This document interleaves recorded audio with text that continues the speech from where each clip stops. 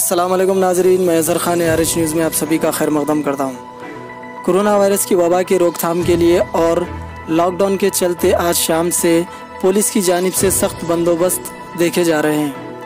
आज शाम सात बजे के बाद फलकनुमा पुलिस सर्कल इंस्पेक्टर ने नवाब साहब कुंटे पर सख्त बंदोबस्त किया और रात के औकात में बिला वजह घूमने फिरने वालों को सख्त ताकीद की कि लोग जो भी अपने ज़रूरी काम है वो छः बजे तक पूरे कर लें।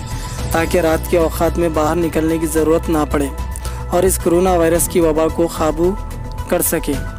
आइए देखते हैं हमारे नुमाइंदे इम्तियाज़ करीम की ये रिपोर्ट।